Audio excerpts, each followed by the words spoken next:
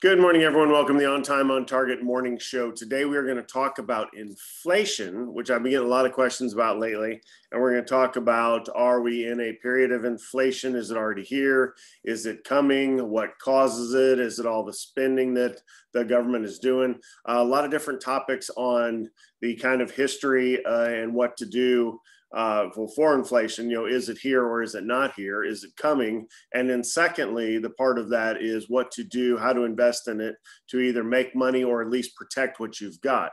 Uh, right. So we know that there are some things that come with inflation, such as higher interest rates, and that the Federal Reserve will try to keep in, you know, could possibly keep inflation under control by raising rates, uh, which obviously has a direct impact on the stock market. So that's what we're going to talk about today. I've got the uh, longs and shorts up in the chat room as uh, well. Let me get the question in here. And there we go. All right, for catching us on replay, thank you so much for uh, checking us out. Make sure you hit subscribe, click the notification bell, and you'll get notified as soon as this goes uh, on the internet every day. And if you want to join us live, there's a chat window and a Q&A window that you don't see that are off the screen, and that's how the squadron members communicate with me. It's 25 bucks to be in here, you know, about a buck a day to come into the room and be able to ask me anything you want during the show uh, through the Q&A and the chat window. And with that, let's go ahead and get started.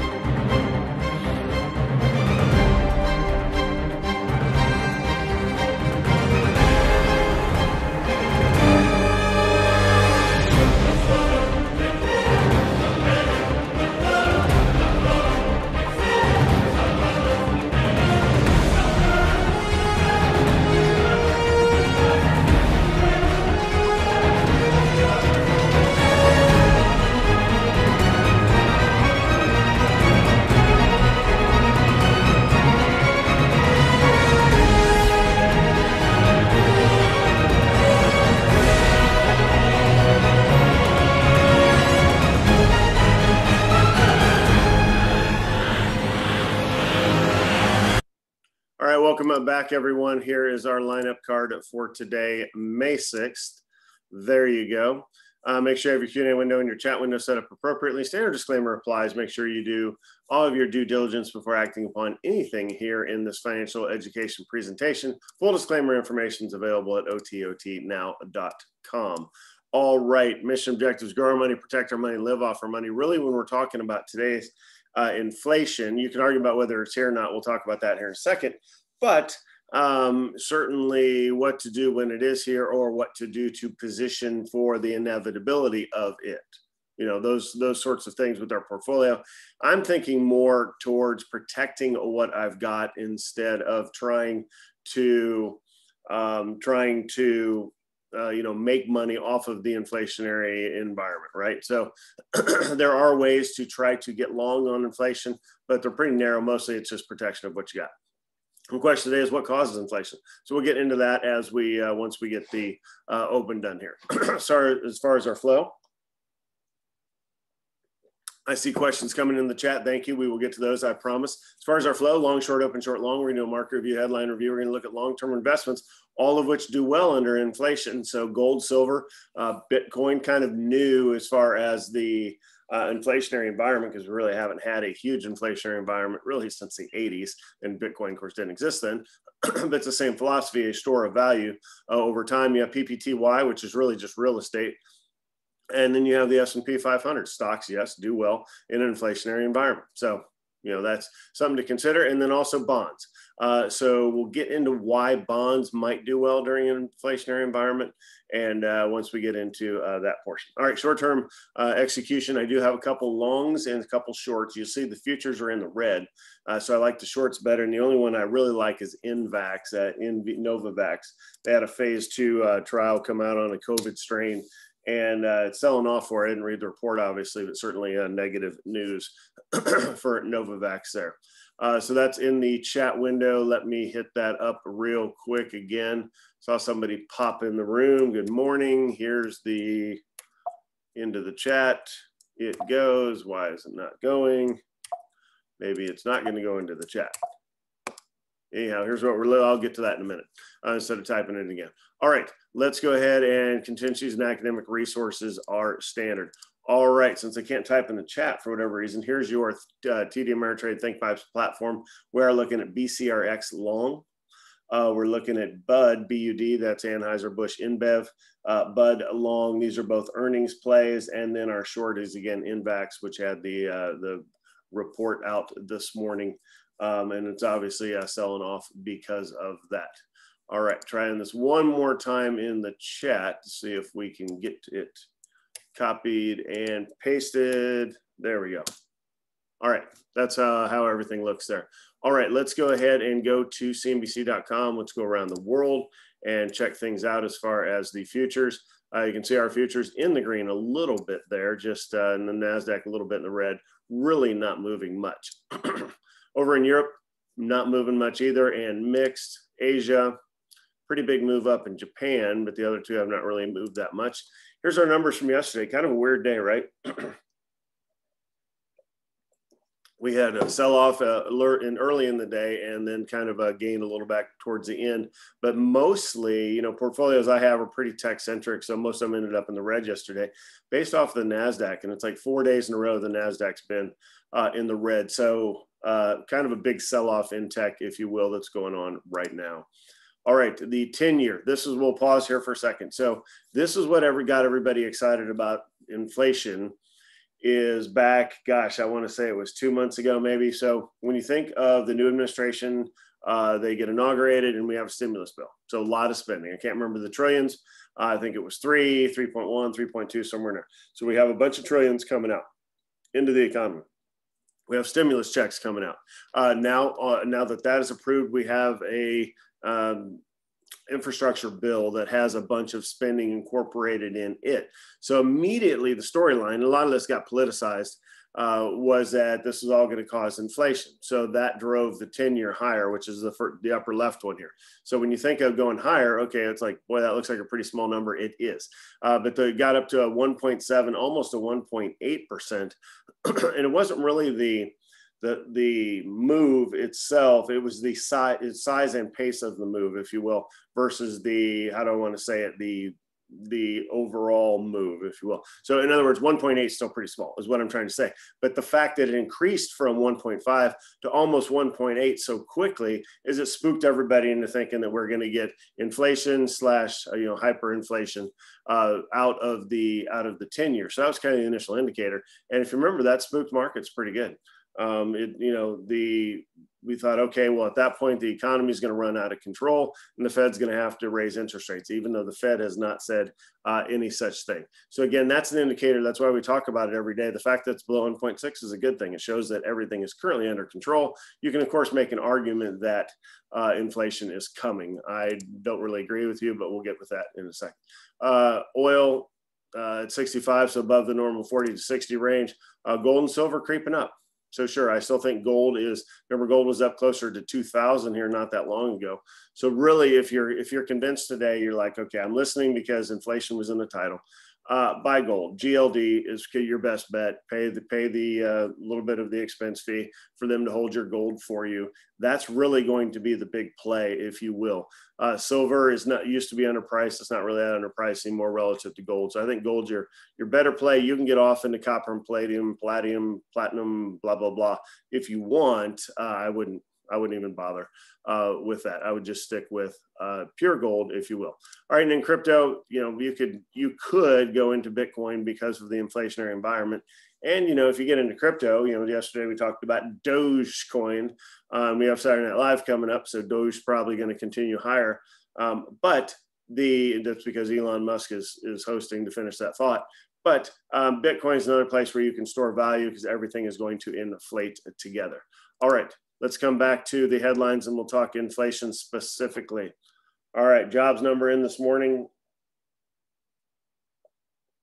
Pretty good, if you will. Didn't really move the market. Some Moderna news. Moderna's down 9% this morning. Um, you know, I like Pfizer better. So of the Moderna BioNTech, I, I like, you know, just go straight Pfizer is how I play it, if you will. Nice dividend too. Um, solid company, multiple ways to win. It's not really specifically focused kind of like BNTX is or Moderna. They're kind of all in on vaccine stuff, right? Saw that if you want to go to space, it's going to be $500,000 a seat to go up to into space for 10 minutes. That was a Blue Origin price from yesterday, not a SpaceX, but Blue Origin, you know, Bezos, uh, $500,000 for 10 minutes in space. And people will pay it. You know they will. Okay, that's it for the uh, headlines. So let's get in and look at what are some options as far as the uh, ways to invest. So the first one's the GLD. So let's take a look at that chart. Um, GLD, and we'll see kind of the history of gold. Gold's a thing. So when you think inflation, um, so first of all, you know, uh, we'll skip ahead a little bit with uh, 10 Bitcoins. Yeah, you're, you're right. Or 10 kabillion Doge coins, right? So what causes inflation? I'll get to some of the chat stuff here too, uh, as well. Let's clear this off. It's like stop it ads.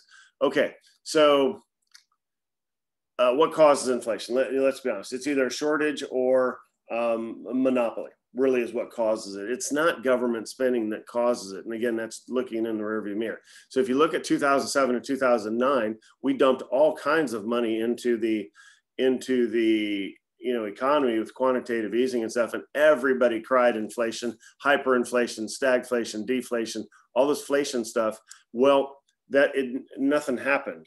And, and you know nothing significant happened i should say. Uh, it was a non-factor coming out of the quantitative easing. So what are we doing now? We're doing quantitative easing again. Uh, you know some people call it the helicopter money. From bernanke when he was talking about helicopters dumping money down on people just because there's more money out there that doesn't mean the prices go up now so what does cause it well a shortage let's talk about like the housing market um, people think, well, we have inflation because housing has gone up, you know, 10% almost nationwide, uh, 20%, 30% here in Austin, you know, Scottsdale, Denver, some of the hotter areas as people flee California. Um, so some of that's localized, but nationwide, it's about 10%, right? So is that inflation? No, it's not. It is a, that's supply and demand. So that's more of a shortage. So why do we have a housing shortage? Here's why COVID happened. You remember that guy? Uh, and people decided they don't want to live in the city anymore. So people are moving out of the city and they are going into, they want to get away from other people. So therefore, the popularity of single family homes goes through the roof. So that makes sense. So there's more demand, if you will, which is causing those prices to go higher, right? Inflation is more purchasing power. Uh, you know, the value of your dollar dropping. It's like, no, houses just got more expensive. Uh, as we see it with gasoline all the time, there's an ebb and flow based off of supply and demand when really nothing else is changing. You know, the price of milk isn't changing just because the price of oil gets over 60 right but you will see gasoline prices but that's what people see and that's what people tie inflation to is hey my house value i can't afford a house anymore so therefore we must have inflation. It's like well no actually just houses are more expensive. Or every time i go to the gas pump i'm paying more. It's like well that's because gas is more expensive. It doesn't mean everything's more expensive. But uh, we'll get into that a little bit later. All right. Our tips. What are tips? First of all those are treasury inflation protected securities. Um, you can get into tips if you want. They pay basically nothing is the only problem. With so you have you can be right, be like, yes, let's go into those, but they aren't really going to move and they pay like a percent. So it's like, why would I take any risk at all if I to get 1%, if I can get 0.6% or whatever you're getting out of your high yield uh, savings. So there's kind of a, yeah, it's a good idea, but it's generally not worth your time, to be honest. if you are in retirement and you're in the super protection mode, then yeah, that, that is the way to play it. Or if we started getting significant um, inflation, if you will, to where now interest rates aren't down at 1%. Say the 10 year goes back to a three to 4%. And it's like, well, that opens up the door to all kinds of things. Uh, you know, CDs. Oh gosh, we haven't talked about CDs in decades. Well, why? Because they don't pay anything. Um, so, so the conversation would switch. Um, significantly. And you know what I like to say, people like, "What's your investment strategy?" And I like to say, "Well, I'm going to take what the market will give me." Meaning, I don't know. You know, it depends on the environment of the market. It has been tech on fire, US based for a long time, and it still kind of is, but that could switch, right? and if we switch, then we switch our investment strategy. Does it, does it hit uh, higher dividend stocks? Well, here's the issue with that is it's good for the market overall because things appreciate and stocks are assets and you know assets appreciate with uh, inflation so yes, that's true. The problem is what hits the market is when the Fed tries to keep inflation under control by increasing interest rates. Um, and then that causes the market to sell off. So if you're going to hold through the whole thing, then you can easily stay uh, in your stocks. You just got to hold through the dip, and you're going to get that dividend coming in the whole time. But if uh, you know this is a short-term issue, or you're in retirement, you don't want to see your portfolio drop, then no, dividends-paying stock is not a, a, uh, safe place to be. All right, let's get through the market open. We will come back to inflation here in a little bit. we have 30 seconds to the market open, and let me get set up here for it. All right, good morning, everyone. We have 15 seconds to the market open. Welcome to the on time, on target play of the day. You have four screens in front of you on the TD Ameritrade Think Pipes, Think Pipes platform. These are all one minute charts for us to watch as the market opens here in a couple seconds. Wait for the bell. So there's the opening bell. The market's about flat. Again, this is why we keep the SPY right here. We can watch the one minute uh, bouncing up and down. BCRX is a er long play on earnings. You see a little bit lower on the volume as well as Bud, which is Budweiser, Bush, uh, excuse me, Budweiser, AB InBev, Anheuser-Busch uh, InBev company ticker Bud. You can see it's up in our window of the 5 to 10% for both of these long. excuse me. Our short story, if you will, is Novavax over here, which got a negative story out of one of its um, phase two releases for COVID. So we're going to let it set the high of the day and then come in and we'll use about a $2 stop. So I'm going to take this pretty quick if it hits down below 158. There we go. Take it at 158 or 157, wherever you can grab it here, um, and put covered above the high of the day. So again, that's 160. that's what you're risking. We're trying to make three times this amount. So it's going to have to go from 158 to 156, 154, 152 is our actual exit point. But it busted out just like yesterday, man uh, busting out of these trades within uh, within seconds, not even the first minute there. Uh, so as soon as it exits out the top of the trade, you have to give up on the trade and uh, and just admit admit defeat, come back another day. Again, with our strategy, uh, we have it set up to where we lose one risk unit when we lose, uh, but we have it set up to make three times that when we win. So really, we only need to win 25% of the time, win being being correct in the trade, in order for this strategy to to pay off. Again, I don't go back into a trade after it busts out because of wash sale rules, but certainly if you are a professional trader, you could watch this thing go up even more, set a new high of the day, and then turn around and continue to sell off. I think it sells off uh, throughout the day. All right. Let's go ahead and back out over to the big picture stuff. Not even gonna look at any of the other short-term trades because we're gonna go back and talk about inflation some more. We've really only scratched the surface. Uh, these blue bars for new person in the room, uh, these blue bars are days. So again, this this was while the market's open is the dark blue. So here we had the big sell-off. This was when Janet Yellen, who's at the Treasury now, start, made some comment about the Fed increasing interest rates. That caused this big sell-off, and then she tried to walk back the rest of the day, which kind of sold. And we're basically flat uh, from here. Over on the big board off the left, we have nickel up five. Excuse me, five percent. Voice is given out this morning other than that, too not too many names really in motion. Uh, when I was looking for longs and shorts today, it was kind of painful sorting through things because there's not a whole lot in play, even though we're in earnings season. So you have nickel up. Other than that, nothing's really moving up in a big way. To the downside, you have Clickstream. Now it went up, you know, like 30% yesterday. So that's just selling off. BNTX we talked about and Moderna getting out of both those names and going into Pfizer is a smart move. CRISPR Therapeutics, I like it, but it's been selling off lately. MNMD is what we're going to talk about tomorrow. That's Mind Medicine. And then we have a bunch of basically tech. Uh, when I look through here, is what I'm seeing as far as the other big red names. So it kind of looks like the names are, are, you know, a lot more red than there is green uh, out there. All right, let's go back and talk inflation some more because there's so much to talk about here. All right, so we talked about can you hide in dividend stocks? So it's kind of if you are a buy and hold as your strategy, then yeah, you just hold your dividend stocks through an inflationary environment, through an increase in interest rates, and you turn around and you reinvest the dividends, right? That's what you do because that's your strategy. if you are in an income generation strategy, so you think there's capital appreciation, which is making money, capital preservation, which is protecting your money, and then there's income generation, which is where now you take all the money you spent a lifetime earning and you stop trying to make money with it. You try to generate income. So therefore, you're in your bonds, uh, bond funds, your anything that produces income, like your high dividend stocks. some private equity stuff that kicks off a regular payment. There, you're looking for stability of cash flow is your priority, not a total return mentality. So that can be tough, right? If you have a million dollars and say COVID uh, hit, so COVID hit last year, which it did, um, and your million dollar portfolio is now saying like it's at 810,000. Like, well, people were starting to get concerned, rightfully so, right?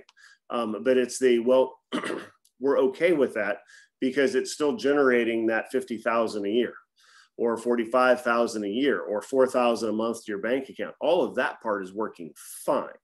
It's just the fact that the number at the top is changing, moving up and down. But when you're in income generation, you don't care. Of course you care, but you care, you don't care as much, if you will. so can you hide out in there? If that's your strategy, in other words, uh, buy and hold forever. Yep. Or income generation, you simply you can hide out there. Um, these these stocks will appreciate along with um, uh, along with uh, inflation. So let's talk about some other stuff. Um, I don't looked seen Peloton. Let's pull it up here on. A, I'm pulling up on the. Uh, that recall was a while ago, though, right? Hmm. Looks like maybe they had another one because the stock sold off yesterday, 98 down to 82. Uh, it's kind of bouncing today. So again, the move was made yesterday. So as far as a short candidate, it's not set up today. It was set up yesterday, and it did not happen at the market open. It looked like it happened about a half an hour after the market open when they announced. It. So if you're a full-time trader and you're staring at a screen and you get a headline like that, you can hop in and trade it. But as far as it being a headline going into the open, didn't really uh, didn't really work uh, for us. Okay, let's talk about the uh, definition of inflation. Loss of purchasing power over time is probably your best bet for the definition there. Understanding it, what causes it, just because there's more money out there we're spending does not cause it. It's uh, it's basically it has to be a shortage or a monopoly of sorts. you could argue that we do have monopolies out there. I actually kind of think that we do. Um, you know, the big companies, the Apples, the Facebooks, the Amazons, but they're not price gouging us or they're not yet anyway. I mean, really, when you you could say, well, iPhones are expensive, it's like, oh, come on. I mean, yeah, I get it true $1200 for a phone is kind of ridiculous if you're buying the top of the end stuff. But look at the like 18 devices you don't have to buy because you have that. You don't have to buy a watch anymore because you carry a watch with you in your phone. You don't have to carry a flashlight with you because you have one. You don't have to carry a calculator with you because you have one. How about a camera hanging around your neck? You don't need that because you have one. Alarm clocks you don't need those anymore because you already have one. Gps you already have one. I mean so yeah they're not cheap for sure, but it's replacing a whole slew of things uh, in your life. All right. Built-in inflation. So let's talk about that real quick. Uh, the Fed, you know, part of their two, they keep uh, full employment and keep inflation under control. That's their charter of the Federal Reserve. Well, they target about a two percent inflation, and they want things to inflate two percent. things that stay sideways forever is not good. That's a topic for another day. But again, they're targeting that two percent inflation, and Powell has said he's even willing to let the economy run hot, meaning get up to that 3% inflation before he moves interest rates. So that's why I think we're going to see, you know, things clip, clip along maybe at the 2 to 3% rate, but I don't think it's going to be enough to inspire the Fed to raise rates. And that's what hits the market, if you will. Otherwise, we just enjoy the ride of, uh, you know, our stocks inflating right along with it. All right, we got into the rising goods and services. So here's the issue with inflation is there's price inflation and there's wage inflation.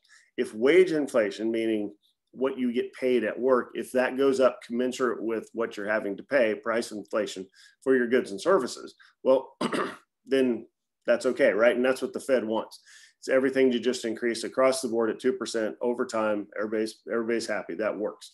The issue is when prices go up and wages do not well, wages don't automatically inflate, right? Um, they're determined by bosses and companies uh, that determine what you make out there.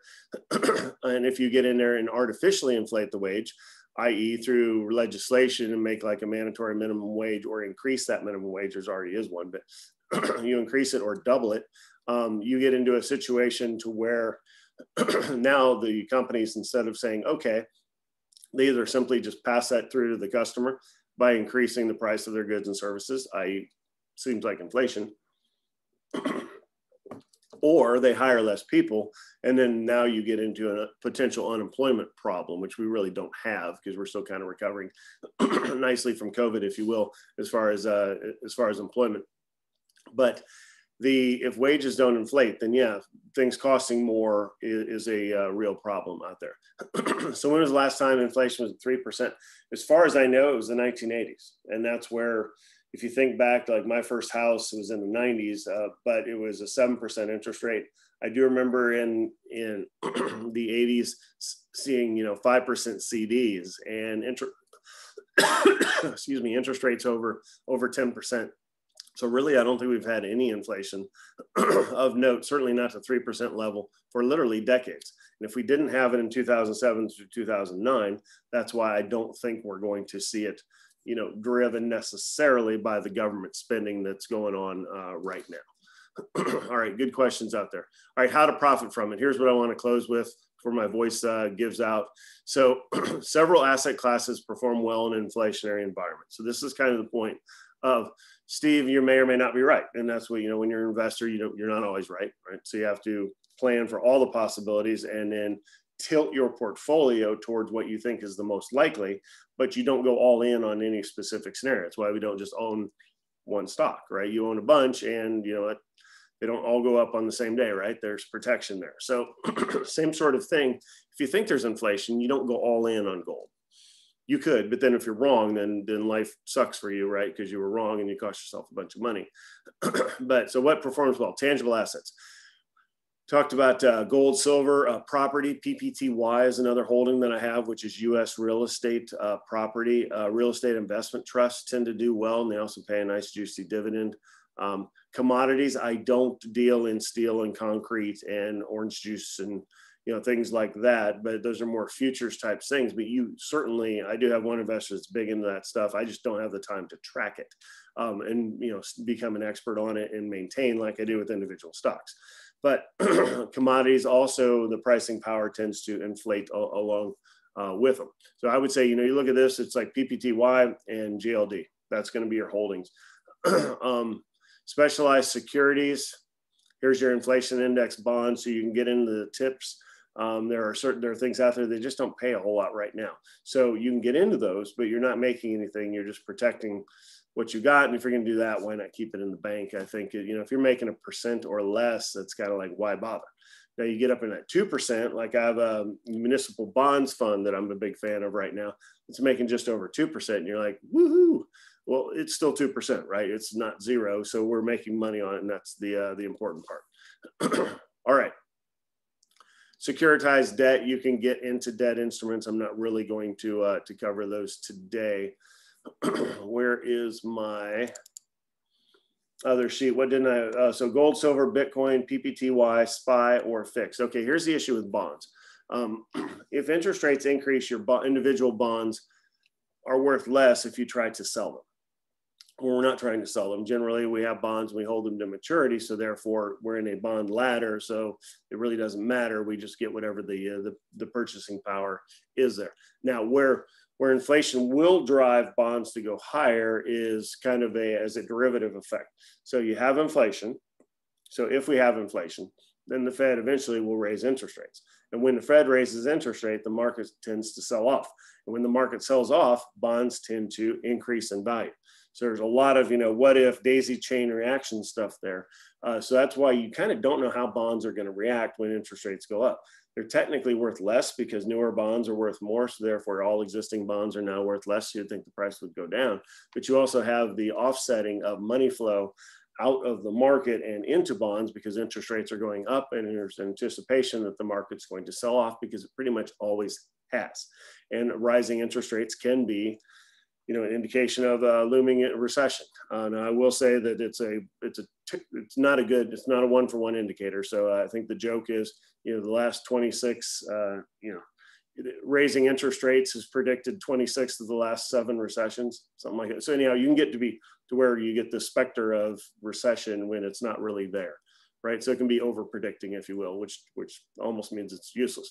But all seven of the recessions we've had have been in a rising interest rate environment. So you do have to give it some uh, credibility there. Um, so anyhow, that's what's going on in bonds. Not really a place to hide out or make money, but you might not be adversely affected in your big bond position in your portfolio. So, all right, that's uh, enough for today. So, what is the bottom line out there? Uh, gold, silver, and real estate are places where you want to be. Everything else comes with some risk.